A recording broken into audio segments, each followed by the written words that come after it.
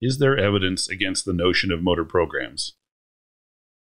You might think that after everything we've read and discussed, that motor programs are a given. We pre plan our movements based on a series of commands and we execute our movements in that fashion. However, it's important to realize that that's not the complete story.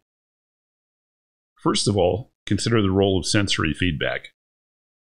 When you reach out to grab a doorknob, do you really think that your brain puts together the entire sequence of motor commands necessary to do that? Or is it subject to modification? As it turns out, as it turns out, that's more in line with what we actually do. Your brain does put in place a motor command or motor program to get you near the doorknob, but as you move, the human sensory system is giving you proprioceptive and visual feedback, and you use that information to adapt the motor command to achieve your goal. What's important to realize is that the initial motor command is susceptible to change, so the motor program, while there, can be changed during an ongoing movement.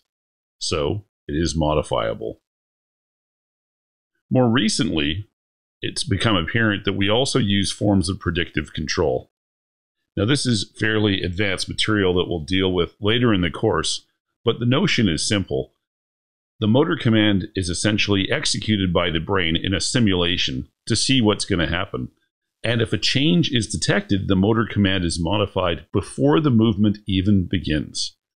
So, while using predictive control, specifically what are called forward and inverse models, the brain is able to simulate movements and the consequences of those movements and make changes in effectively real time to ensure movement accuracy. Why this matters is again, it doesn't rule out the idea of a motor program, but it strongly suggests that that motor program is modifiable. And you might be wondering why this picture is up.